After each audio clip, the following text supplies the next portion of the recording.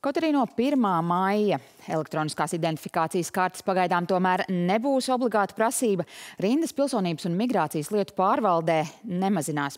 Cilvēks stāv pie nodaļu durvīm pat vairākas stundas pirms darba laika sākuma. Joprojām iedzīvotāji interesi iegūt identifikācijas karti savā īpašumā vai izgatavot jaunu pasi ir ļoti liela. Turpina Zemgales reģionālās televīzijas kolēģi.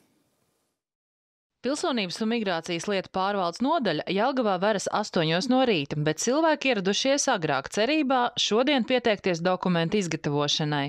Es šorīt eh, atbraucu šeit septiņos un stāvu no septiņiem rindā, lai tiktu pēc numuriņa. Ne jau sev, bet eh, šim te pirmās grupas invalīdam ar kustību traucējumiem, jo viņam beidzās pasai termiņš un viņam šī pasa ir nepieciešama. Lai samainītu, sazvanīt iespējams, nevar pierakstīties. Arī nekur nevar, neko mēs nevaram izdarīt.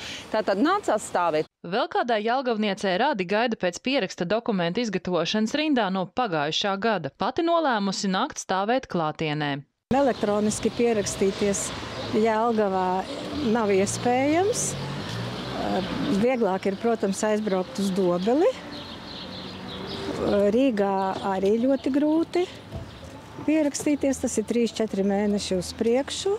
Es esmu bijusi pēc septiņiem un sapratu, ka šo rindu stāvēt ar sāpošo muguru es neesmu gatava.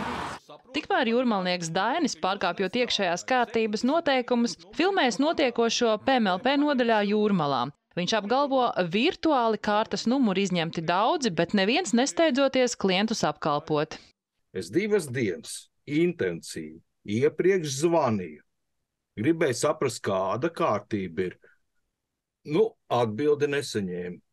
Arī, kā redzams no video, šo jautājumu es viņiem uzdevu, kāpēc tas tā bija kāpēc uh, neviens necer klausulas, ko man viņi sniedz atbildi, ka viņiem nesot darbinieku. Par to, kā labdainis kā klients netika apkalpots no darbinieku puses nodaļas darba laikā, PMLP sākusi dienesta pārbaudi jūrmals nodaļām. Komentējot par to, ka klients netika apkalpots, jā, protams, protams mēs saprotam, ka situācija ir ļoti uh, nepatīkama un tā nav adekvāta. Tāpēc šīs dienesta pārbaudas laikā mēs noskaidrosim katra darbinieka atbildību.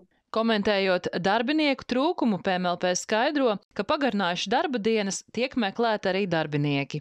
Mēs strādājam virsstundas, lai pieņemtu pēc iespējas vairāk, vairāk klientus, šobrīd tā situācija ir nedaudz normalizējusies, taču tuvākajos mēnešos mēs pieņemsim darbā vēl darbiniekus, Aptuveni 350 tūkstošiem Latvijas iedzīvotāju vēl nav elektroniskās identifikācijas jeb EID kartes. PMLP plāno tuvākajā laikā pieņemt darbā vēl 40 darbiniekus klientu apkalpošanas nodaļās, kā arī celt viņu algas. Iestāde atgādina, ka ja vien ir derīga pase, tad šobrīd nav nepieciešamība steidzamības kārtā izgatavot arī EID karti. Diana Botiņa, Mikus Andersons, Zemgals reģionālā televīzija.